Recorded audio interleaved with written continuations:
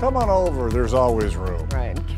Me too. Come on over. Right. Try to stay dry though. Try to stay dry. Yeah, it's, Yeah. it's a muggy night, uh, not a muggy night, it's a murky night tonight. And uh, it looks like as we continue to pick up more and more rain, the fog will get less and less. They kind of don't go together too well. So uh, rain is filtering out the fog as it moves in, and you can see there's plenty of it to come as we uh, have a big surge coming from the southwest. Amounts to our southwest have been around uh, half an inch so far, and there's still raining there. So uh, you should look for that much or more. I'll show you totals just a little bit. It's in Detroit now.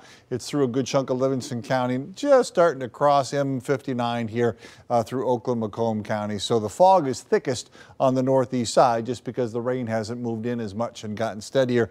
Heavier out here by Jackson to Lansing. Those areas likely to see over an inch. Some spots around Metro Detroit might get over an inch too by the time this is wrapping up early tomorrow morning. So temperatures and the radar together. The point is lots of times when it starts to rain, it really drags the temperature down. But we've been so moist. We've been so high in the humidity.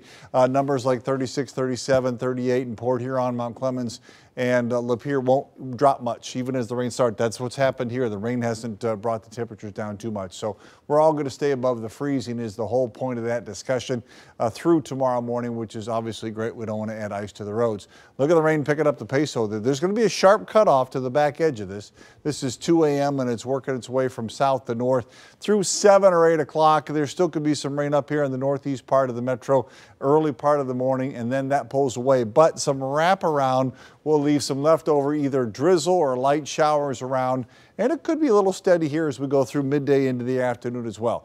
Not as heavy as what we're going to get overnight, uh, but I wouldn't put the umbrella away if it stops raining at your house 7, 8 o'clock in the morning.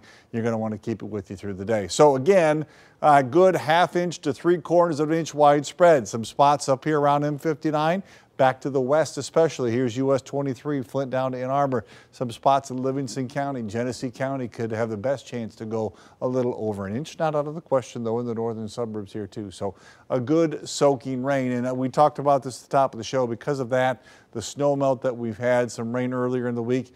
Uh, we're going to have to watch the streams and rivers this weekend because they're coming up, and this will certainly bring them up some more. Not a big problem expected tomorrow, though, in the morning drive. Overnight tonight, 18 is the average low. The record is minus 9. We're at 35 in Detroit instead. And tomorrow, not as foggy, but still not a great day. Won't see the sunshine. 40 for a high.